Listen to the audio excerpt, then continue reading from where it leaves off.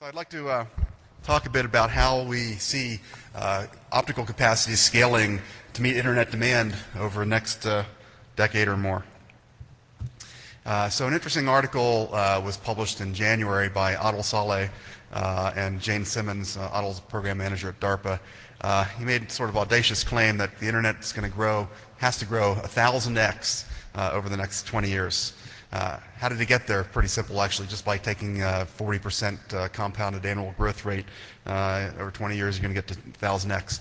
Uh, but he went further and uh, talked, uh, discussed, he and she, Adel and Jane, put forth a proposal for how we actually might get there.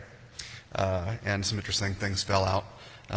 First of all, that their, their, first factor of three was just using the capacity that's already there in the network today. An awful lot of capacity is actually uh, there in the transport network and is unused because, uh, or actually all the network, uh, that's unused uh, because of uh, inefficiencies. Uh, but the biggest factor is simply by increasing spectral efficiency on fibers in the optical transport network. And, oops, go back. There's about a 10x, at least a 10x there. Um, and I think that's starting from a baseline of today's 40 gigabit per second per, per, wave. Um, uh, for, uh, transport systems that put about three terabits of uh, capacity, three or four terabits of capacity on a fiber. Um, so uh, first we need to understand what the transport layer is. Uh, I think a lot of guys here, or people here, are, are focused on uh, the, the IP network, where of course you've got service routers and peering routers and all your core routers. But there's an optical, a whole other, actually two whole other networks that sit below that. First, an OTN network that is there in, in, a lot of cases, not all cases, uh, but that OTN network is to, uh, the purpose is to uh, do sub-lambda grooming or, or, allow you to uh, do TDM multiplexing of smaller circuits onto the, the bigger wavelengths. Uh, and then, of course, the WDM network itself uh, underlies that, and, and the, when you, those black lines between routers are really going in and out of the transport network as it goes across the country or around the world. So uh, how, we how, have we been uh, scaling the optical transport network uh, in the last uh, decade and a half is really through WDM. And the network's been scaling simply by, take, by A, scaling up the bit rate per wavelength, uh, but second by scaling up the number of wavelengths. And we've gone from you know, 2.5 gigabits on a single wavelength to 2.5 gigabits on 4, 8, 16 wavelengths, 40 wavelengths, then up to 10 gigabits, and it's you know, scaled up to 160 wavelengths uh, in, uh, in some cases today at uh, 10 gigs or 40 gigs at 80 wavelengths or 100 wavelengths. Uh, how are we going to continue from here? Are we going to continue scaling up the, the uh, bit rate per wavelength, scale up the number of wavelengths, uh, possibly a little bit of both? Uh, actually, the uh, number of wavelengths actually might come down, as I'm going to show here, uh, but the bit rate per wavelength, or actually channel, or super channel, as I'm about to discuss, is going to go up. So it's interesting to compare optics to what's happened in all other forms of communication, wireless, you know, microwave, cell phones, etc uh, even copper uh, lines like DSL. And in these uh, types of technologies, what we've done is, is uh, increase the spectral efficiency or, or, the bits per second per hertz uh, on those media uh, through very advanced digital signal processing enabled by advanced silicon technologies. And, and today through you know, things like QAM modulation, very high order QAM modulation, we're able to get several, you know, as many as 10 bits per hertz uh, over those media. The optical world, uh, we've started very low because of WDM. Uh, we've been able to, well, just been able to, because of the uh, incredible bandwidth of, of, fiber, we've been able to increase just on a TDM basis, um, and then the, the uh, number of wavelengths. Uh, and we've been on a very steep curve, and lately here we're starting to take advantage of the same DSP and VLSI technology in the network that's being deployed today. these technologies are starting to come into use uh, to do things like electronic uh, chromatic dispersion compensation uh, and 40 gig and 100 gig uh, coherent communication, which I'm going to talk about more. So since the advent, advent of uh, DWDM, we've been relying on a few key technologies or techniques uh, first is just intensity modulation. So we simply turn the laser on and off, basically, turn the light on and off. Uh, and then direct detection, you just impinge the uh, incoming uh, wavelength or, or, light signal on a photodetector and directly uh, get ones and zeros out of it. And with WDM, we've been having multiple wavelengths separated, and according to this ITU grid uh, that uh, provides a standard for uh, the spacing between these wavelengths. Going forward here, the network that's being deployed now is relying on phase modulation instead of intensity modulation. We've learned how to modulate the actual phase of the light. Uh, and then coherent detection by uh, beating the incoming signal with a local oscillator in much the same way that radio does.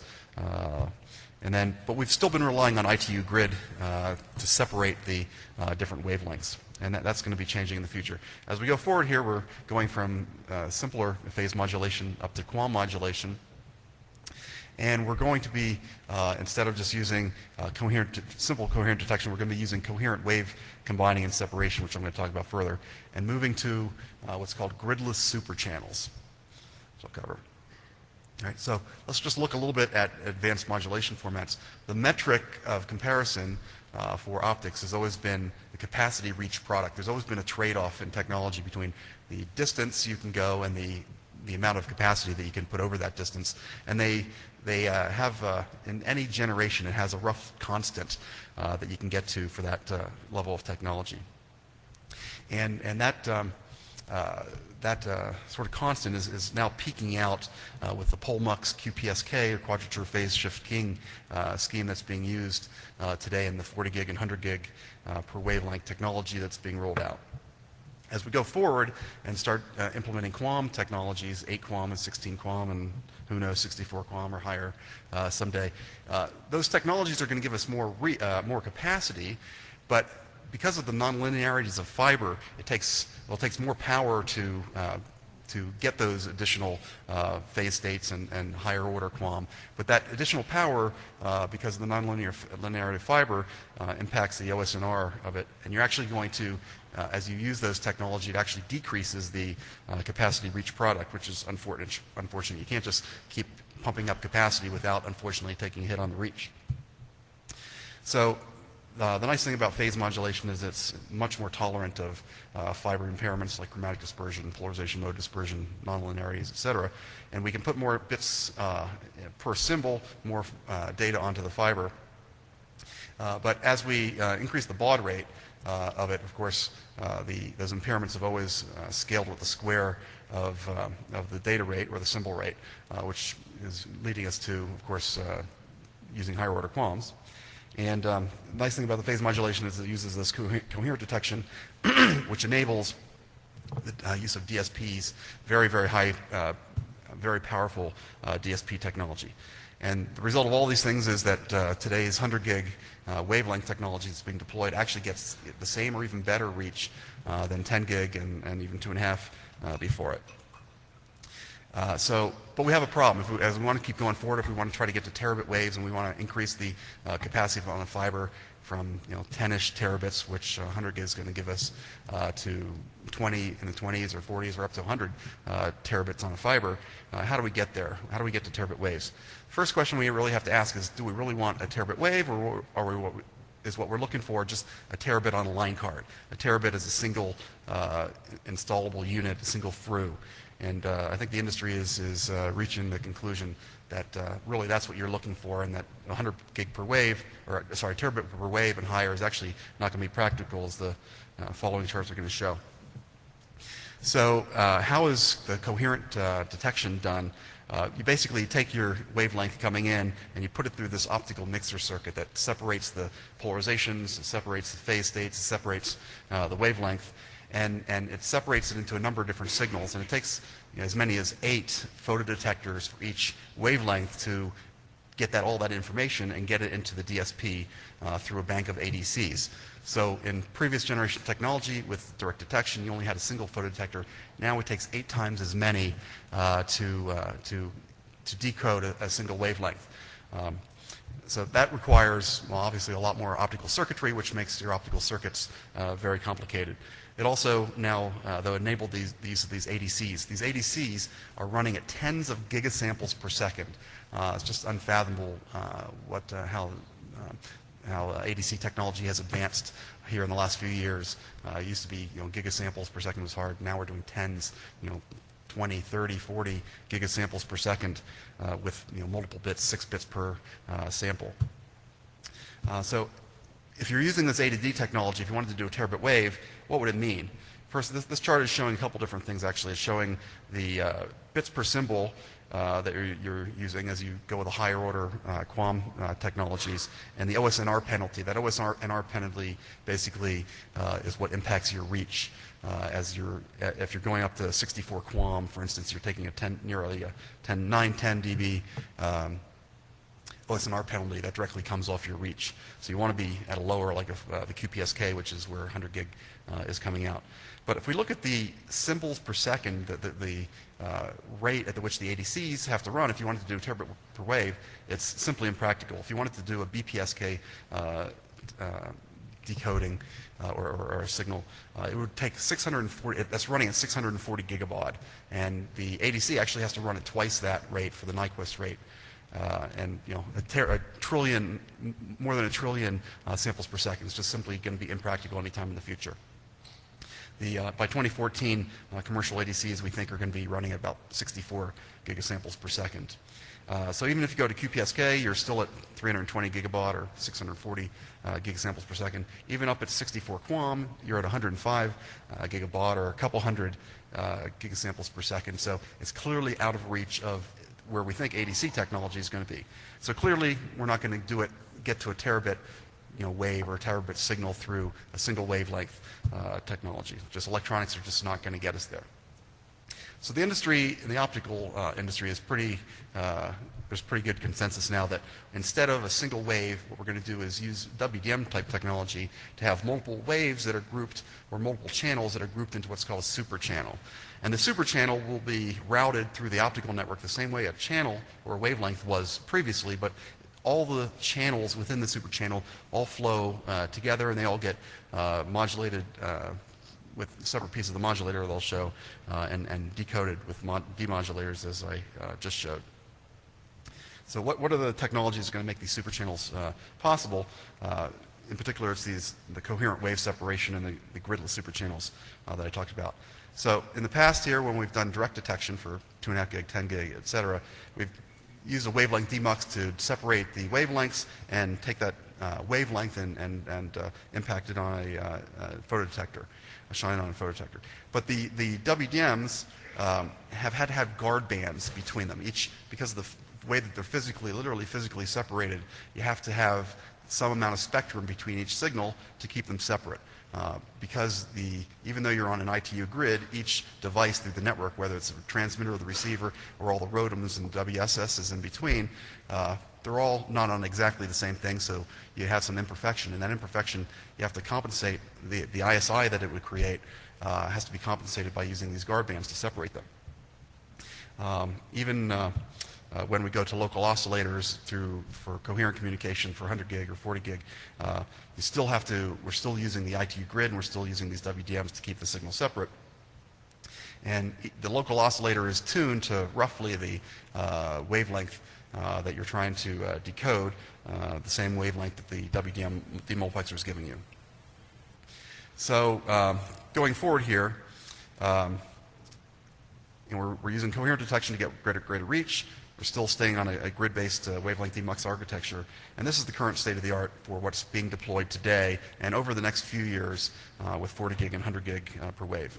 Uh, going forward again, uh, this, this chart is showing what these super channels are going to look like. Today, as I said, if you have each channel uh, if it's 100 gig, it's separated by these guard bands. That's that red space in the spectrum there. That's wasted space. And there's roughly 25%. If you're sending a terabit with 10 channels at 100 gig each, roughly 25% of your spectrum is completely wasted uh, because of these guard bands. So with coherent wave separation, we're doing things a little bit differently. Uh, the bottom left shows instead of those guard bands, we're packing all the channels in the super channel much more closely together, and we're separating those through the use of the DSP technology. Uh, through the, the uh, coherent demultiplexer, you're separating the polarizations and the phase states, as I said. You're, you're uh, beating it with a local oscillator. Uh, and and that, that uh, by the time it gets in the DSP, you're actually able to use the DSP to filter out um, the ISI from other uh, signals and filter out one channel versus another. And it turns out that digital signal processing uh, is a lot more accurate than trying to, using digital signal processing to separate the different channels is a lot more accurate than trying to separate them optically. So you're able to uh, get that 25% back, basically, and pack them much more closely. Now, between the super channels, though, since you want to still route those with today's WSS or ROADM technology, uh, you still need those guard bands. Uh, and uh, the question is, how big can that super channel be, and how much uh, uh, capacity do you want to route at one time? So how many channels do you want at which bit rate? Uh, because of the, if you look though at the complexity of these coherent demodulators, especially when you get to super channels where you're demodulating a whole bunch of channels separately, it's really getting to be a very complex optical circuit. As I said, it takes eight photodetectors for each channel. If you have 10 channels in super channel, all of a sudden you need 80 uh, photodetectors just for each uh, terabit super channel. Yeah, that really tells you that you really need to have some sort of, uh, it will really be economically uh, important to have some sort of photonic integrated circuit uh, technology to uh, do that implementation. Um, so what does this now look like here? the, the WDM is now demultiplexing the super channels from each other, but each super channel is now coming into an optical demultiplexer circuit that's using one or more local oscillators to separate out the uh, different wavelengths, uh, sending it through this fairly complicated optical circuit that's literally pulling it apart into 80 different ways and putting those on 80 photodetectors, 80 ADCs, uh, and into an incredibly complicated DSP. These DSPs are literally running at trillions, tens of trillions of operations per second. Uh, they're incredible uses of silicon uh, electronic uh, ASIC technology, enabled by you know, basically Moore's Law, but 28 nanometer silicon and, and things like that. Um, so this uh, just shows if you have a bunch of super channels, each one uh, is being independently uh, demul demultiplexed and processed. Now, what is the result of using these super channels? The curve that was before, where I'm getting more capacity but lower reach uh, through uh, QPSK, 8 QAM, 16 QAM, et cetera, it basically pushes that curve out about 25%. That 25% spectrum I get uh, just directly feeds into, I can use that for more capacity now. Uh, simultaneously, uh, the other thing that's happening in the optical network is the what was previously a 4-ish terahertz uh, amount of capacity in the C-band is amplifier technology is being increased to get to about 5 terahertz, which gives you an additional 25%. So all of a sudden I've got 50% more capacity just through uh, those, uh, those techniques. This chart shows a uh, QPS, PM QPSK transmitter. Uh, as you can see, it's also a pretty uh, complicated uh, optical circuit with a laser diode, polarization beam splitter, uh, these super Mach Zehnder modulator structures that modulate both the intensity and phase of the light, the, the imaginary and real components uh, of, the quad, of the phase states. Um, now, interestingly, though, uh, as I was talk, talking about the, there's this capacity reach trade-off. Uh, between which modulation technique uh, you want to use, whether it's BPSK, QPSK, 8 QAM, 16 QAM, et cetera. It's nice to be able to build um, all of those different modulation schemes onto one circuit. Okay? And if you're building out of discrete parts, you'd be tempted to build individual boards for each of those individual modulation schemes, and you just deploy the uh, right board at the right time. Uh, a nice thing about photonic integration that uh, people are looking at is it allows you to build all those different uh, modulation schemes onto one optical circuit uh, and then basically software select which one you want to use at one time. And since it's in an, in an optical chip, a photonic integrated circuit, it's basically the same cost uh, to get all those things. Much like DSL where you can trade off um, what reach you're getting. Uh, it just dynamically trades off the reach versus the capacity and the number of carriers it uses, uh, and the bit rate, et cetera. Uh, optics is going the same way. Uh, same way. We're getting a dial, going to be having a dial or reach capacity uh, capability, uh, where at the baseline might be a PPM QPSK signal at 100 gig. you're getting a, a, a particular reach, particular capacity. If I want to get additional reach, for whatever reason, I'm going subsea across the Pacific or something. Uh, I can basically turn the knob, change my optical circuit, change the DSP configuration, get much more reach at you know, reduced capacity. Or I can go the other way. I can dial up 8 to 16 QAM, uh, get a lot less reach, but maybe it's a metro uh, area link that I don't need the reach. I just need to go 10 kilometers down the road or 100 kilometers down the road, not thousands of kilometers down the road. Uh, and I can have that capability uh, basically built into a single card that can, can uh, do those different things. Um, this uh, chart shows that uh, more graphically. the, um, each of these signals is a terabit signal. And what you're seeing actually is the, the uh, black portion is actually showing multiple super channels imposed on the same fiber. So it's, it's many terabits across that fiber. But within the red box, each one is a terabit signal. And what we're doing is changing the number of carriers, changing the modulation format of each of those carriers to still get a terabit, but at different amounts of spectrum. And then that different amount of spectrum, we can uh, put more or less of those super channels on the same fiber. So as a result, at a shorter reach for QPSK, we get 12 terabits on the fiber, but at uh, 16 QAM, if we want more capacity, we can get maybe 25 terabits uh, per second across the fiber. All right. So what's uh, nice, though, is that we can take those technologies, and because of the software programmability, we can use it on the same network that is being deployed today or in future uh, gridless networks that I'll, attach, uh, I'll, I'll discuss.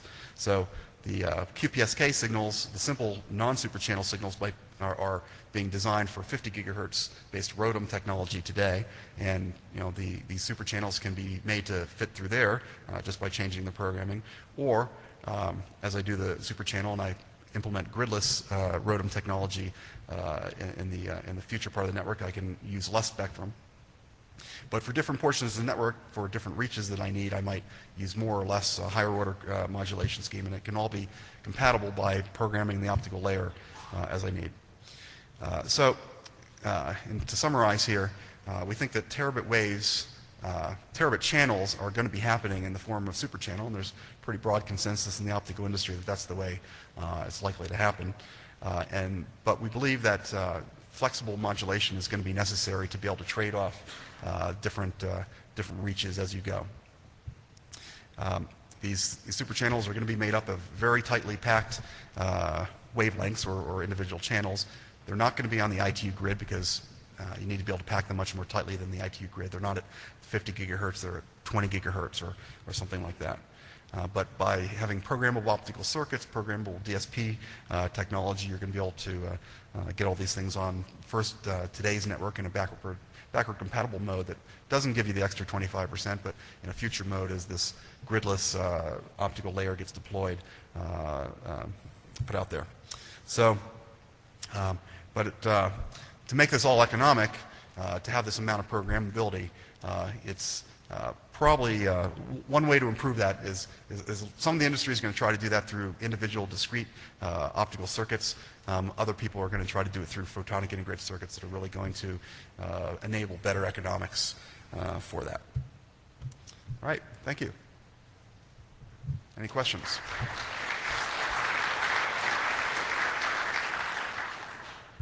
All right, any questions? Any questions? True. Hi, this is Vishal Sharma from Metanoia Inc. So you spoke about coherent modulation and coherent wave separation, right? And in the end, also you summarized it. But I'd like one clarification. In, somewhere in, towards the end, you mentioned that you can, because of the programmability, you can use the super channel concept even today.